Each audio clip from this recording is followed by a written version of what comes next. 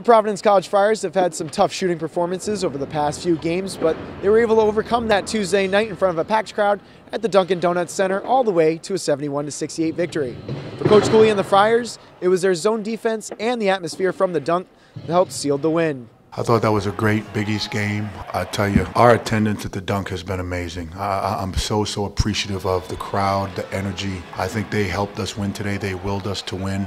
Early on, it was Kyron Cartwright leading the way with three straight threes. Those are shots coach always tells me to take, you know, in rhythm. It's a good shot. I'm, I'm open.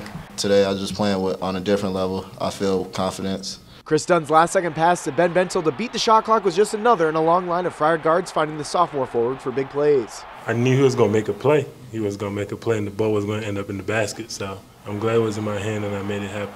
Some, some things you can't always, you can't always tell a player to make. But, you know, we have that connection. You know, it's kind of like an eyesight thing.